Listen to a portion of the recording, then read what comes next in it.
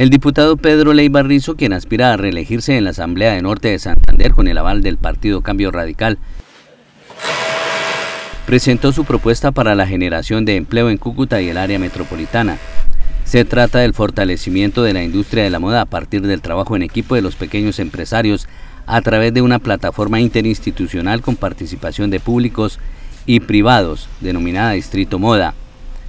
De lograrse que microempresas se asocien, se da paso al acceso fácil de créditos con tasas menores a las de banca e incluso de Bancoldex.